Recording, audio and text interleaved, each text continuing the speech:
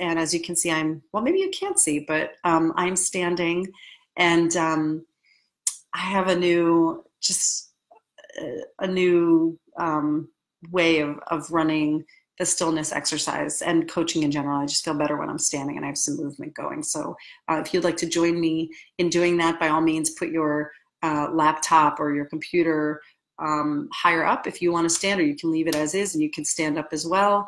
Um, the thing that I'm finding more and more in my life is that the more movement that I incorporate into any work that I'm doing, the more fully present I am and the more of my full self I'm able to bring to that experience. And it just is a way to shake up my energy, a way to up my energy if I need an energy boost. Um, and it just has been serving me really, really well. So I just wanted to share that with you. Okay. So let's do this. Let's get, um, let's just start with this. Let's get our hands together, getting some energy going, getting some heat going.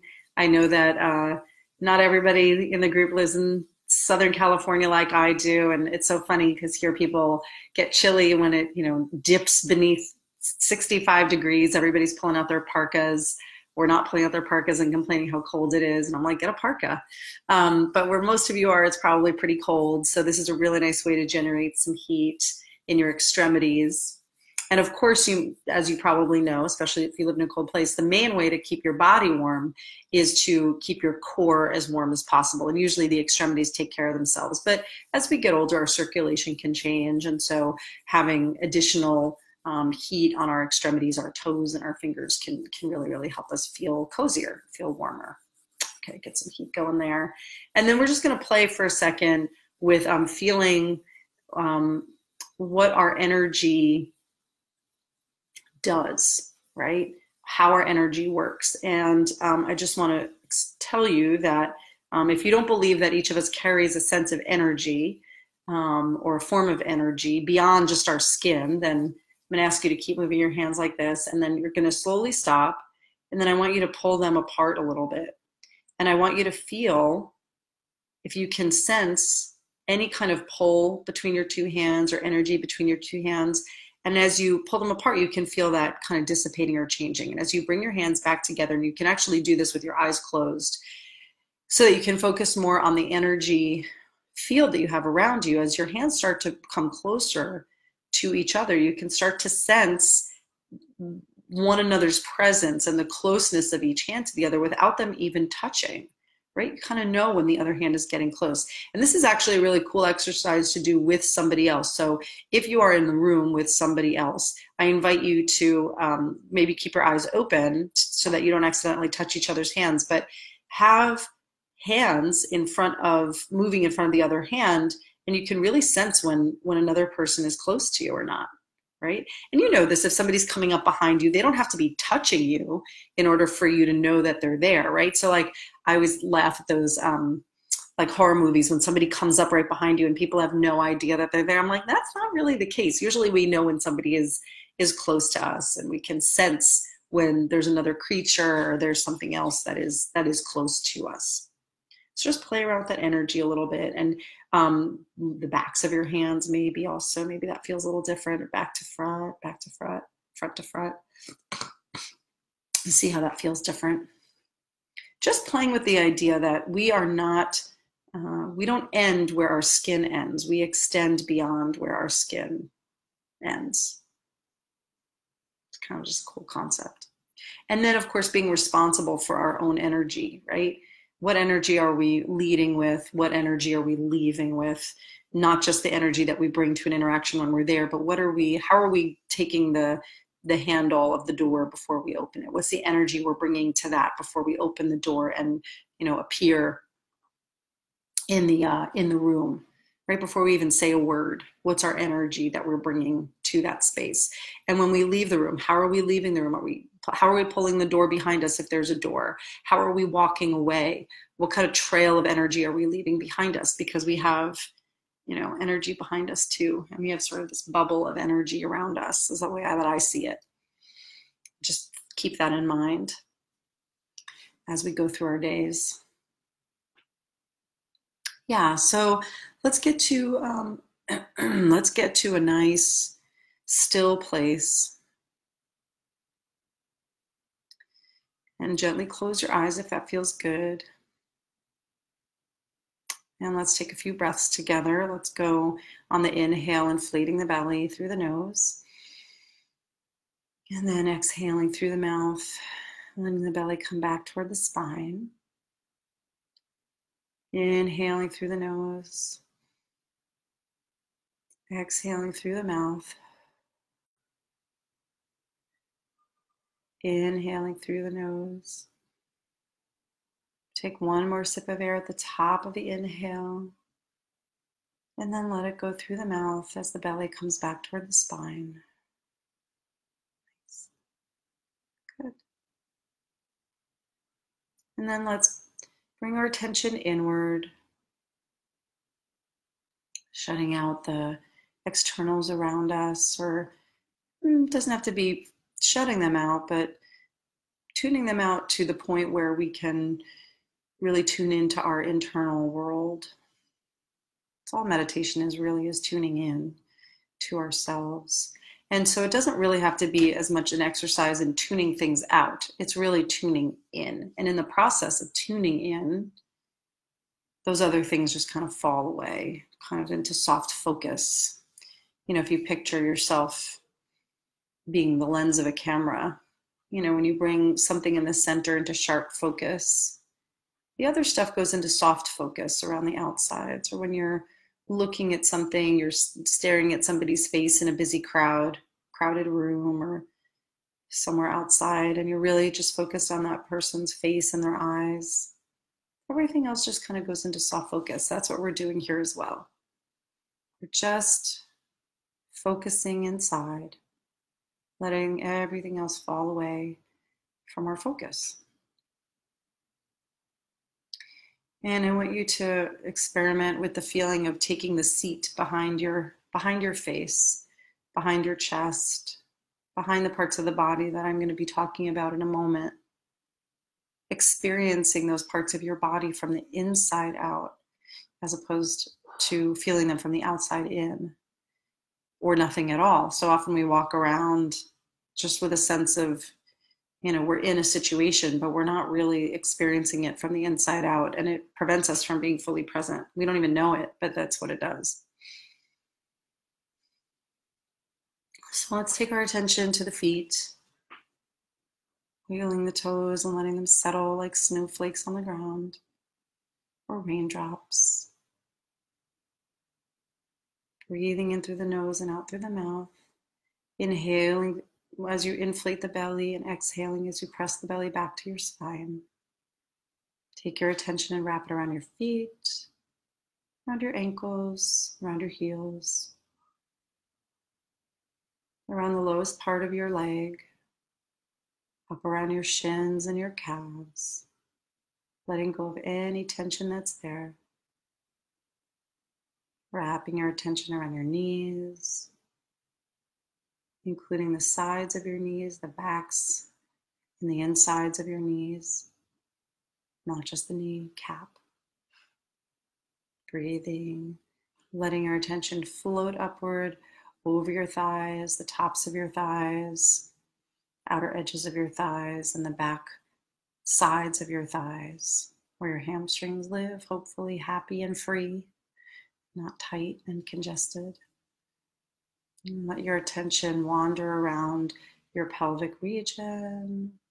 How does that feel from the inside out? Being aware of your pelvis and where your legs plug into your hip joint there and your lower back and your tush. How does all that feel from the inside out? What tension can you let go of? Is there some clenching maybe in your hamstrings or your thighs or more likely your butt.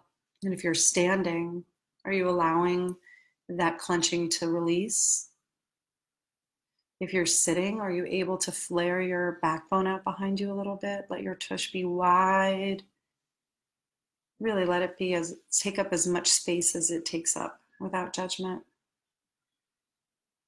Letting your attention come back around your belly, around your side body, around your ribs, front ribs, side ribs, back ribs. Inhaling, feeling the flaring out of your rib cage.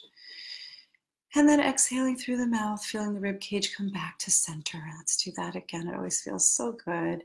Inhaling through the nose, letting the rib cage expand to its widest capacity, and then exhaling through the mouth, letting the ribs come back to center. Bring your attention up around your chest, around your upper back. Make sure that your left shoulder is facing left and your right shoulder is facing right. And if your butt has clenched again in the process, let that go. And if you don't know how to do that, then intentionally tighten up your bum and then let it go. Just like anything, if I say let go of tension, if you're not sure you have it, then I want you to in, uh, intentionally tense up that part of the body and then release it. It's a really good way, quick hijack for that.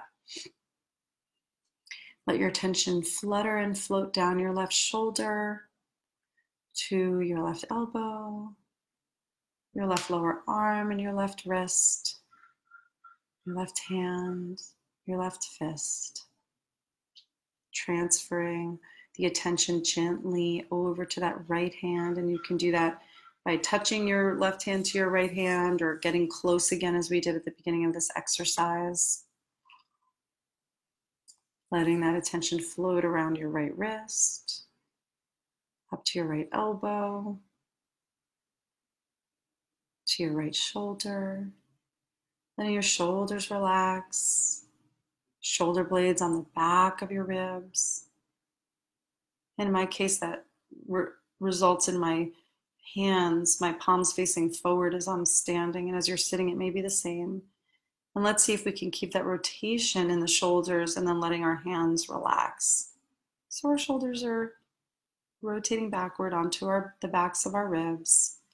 Hands are relaxed at the sides. Might feel like you're forcing it a little bit. That's okay. And then together, let's bring our shoulders up towards our ears, back toward the back, pinching a little bit, and then down and relax. Let's do that again on the breath. Inhaling all the way, shoulders up to the ears, holding as we pull the shoulder blades back, and then exhaling as we pull them down and relax, holding the breath on the out breath. Inhaling, ears up to the shoulders up to the ears, holding as we pull the shoulders back toward the backs of our backs. Exhaling as we pull the shoulders down and then holding on the relaxation of the shoulders. One more time, like that. Inhaling, shoulders up to the ears. Hold as we pull the shoulder blades back. Exhaling as we pull the shoulder blades down on the back. And then holding the out breath as we relax the shoulders. And go back to your normal breathing in through the nose, out through the mouth. And actually, let's change it now where you're inhaling and exhaling through your nose only if you're able, and your lips are pillow soft. Letting the attention float on up from the shoulders, across our trapezius muscles in the back and the sides of our neck, and then the front of our neck from the collarbones resting easy to the chin. Noticing any tension in the throat and relaxing that by putting the t- tongue on the floor of the mouth chin pulling down toward the collarbones ever so slightly as we let the crown of the head rise and receive light from above. Inhaling through and outhailing through the nose, lips pillow soft, teeth separated slightly, tongue taking a nap on the floor of the mouth. Breathing, just breathing and being. That's all we're doing breathing and being. Giving ourselves a moment to just let the all the thoughts that scramble around, like when you're scrambling an egg, all of that whisking and turmoil and bubbly thought that happens, just letting that settle, letting it settle. Relaxing, teaching our body what it means when we say relax, this is what it means to relax. Relax, calm down. All of these words associated with this feeling right here. We're teaching our dog to relax right now. It's actually a skill that we are teaching, which is a position on the floor where she lies on her side. And so the floor puts some pressure against her belly, and it's actually a soothing action. But that's the command is relax. and she gets a treat when she lies down on the floor. And I guess the treat for us when we learn to relax on command is that we feel relaxed. That's our treat. Letting the ears hang heavy on the sides of your head, the mouth relax, the nose relax, the sinus cavities under the eyes relax. Give your eyes a break. Let the outer corners of the eyes just be heavy. Gently touching eyelashes to eyelashes. The lids of the eyes not fluttering in tension, just, just being relaxed. And so maybe that means you crack your eyes open slightly. Maybe it means that they're closed. There's no right here, and there's no wrong. You can't do it wrong.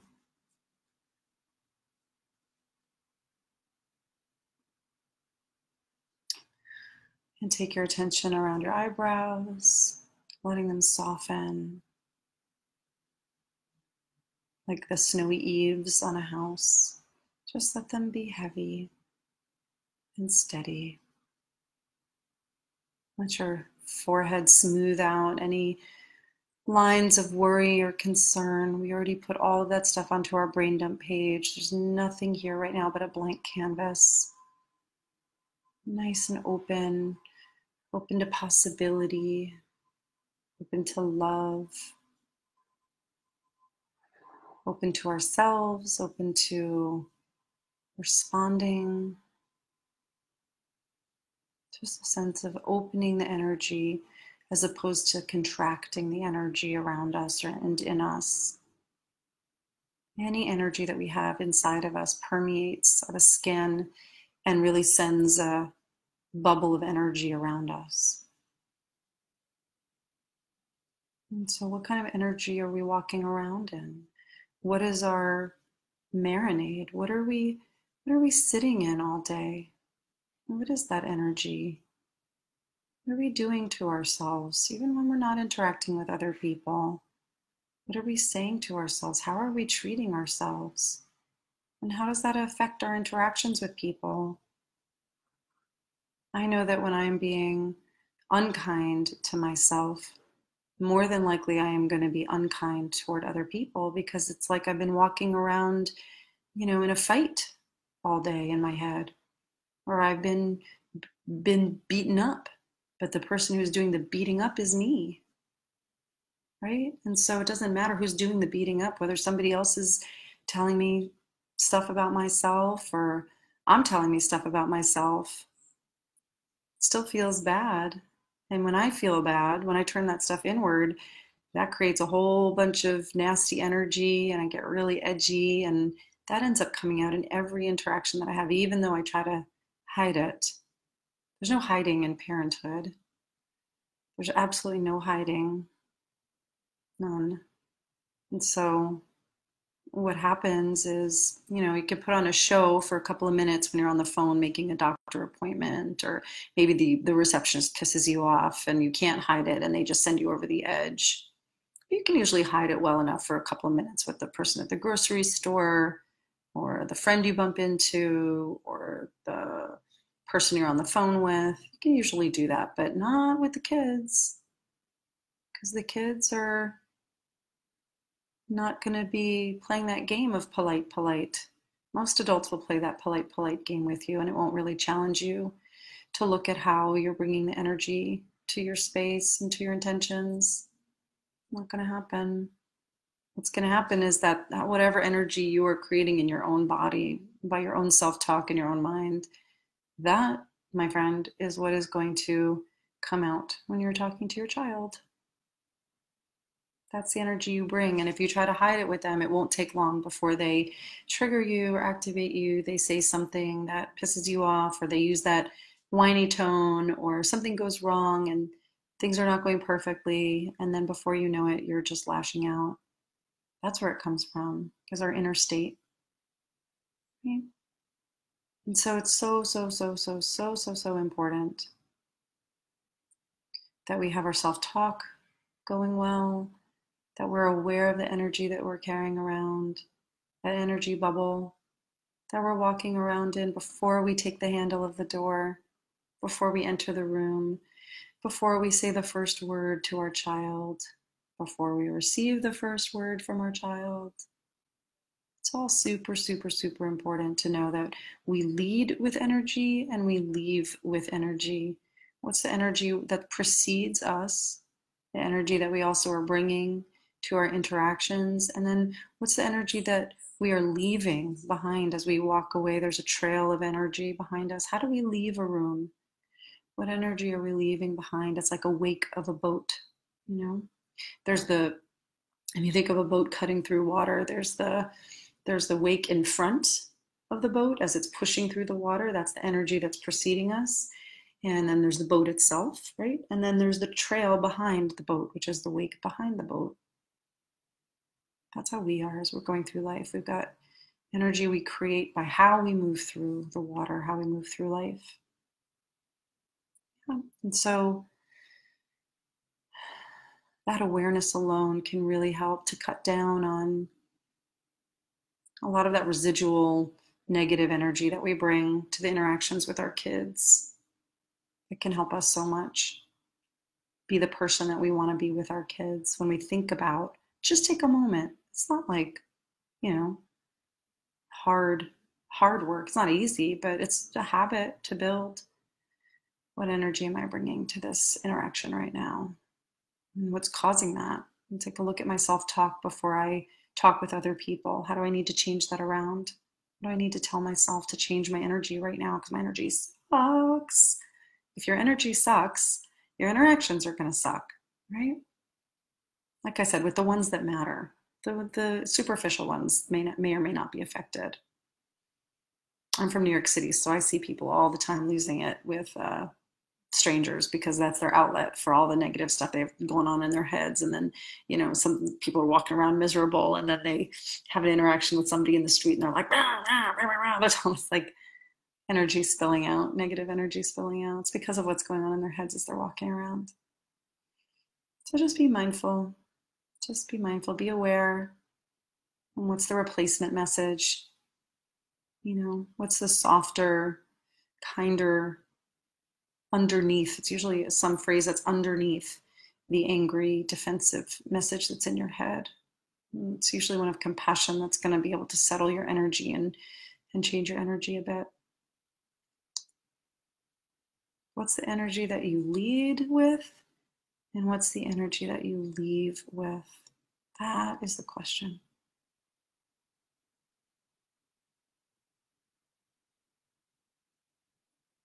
Okay, and you can gently blink your eyes open, come back to the present, and just take a moment to notice, even right now, what is the energy that you have surrounding you? If I were to call it an energy bubble, right? Like in the old, the original um, um, Wizard of Oz movie, and Glinda comes down in this bubble. Glinda the Good Witch, remember, she comes down in this like soap bubble, basically, the kind of bubble that you blow, and it's like magical and gold and whatever. Picture that, and picture your own energy bubble. What color is your bubble? Is it is it orange? Is it gold? Is it black? Is it gray? Is it thorny? What's the quality of the bubble? What's the color? What's the quality? That's the energy that you bring to you. It's it's the energy that's in front of you. It's the energy on the sides of you and it's the energy that that's behind you which is why I helps me to think about it as a bubble.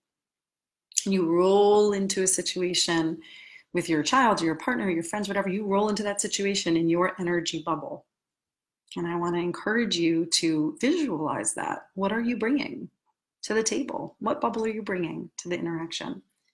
And that's actually a great question what color is your bubble? What qualities does your bubble have? And I hope that helps you with every interaction that you have today, every interaction that you have going forward. If you hold on to that visualization, it can be a really, really powerful way for you to regroup and reset and think to yourself, wow, how am I gonna, what do I need to do to change the color and the quality of my bubble? Sometimes changing the color can change the quality. Sometimes it has to be a more intentional um, switch of i don't mean more intentional i mean uh, just a different switch but sometimes i'm just saying sometimes a place to start is with uh, changing the color and then that can start to change the quality and that is going to be affected by your self-talk and by your breathing.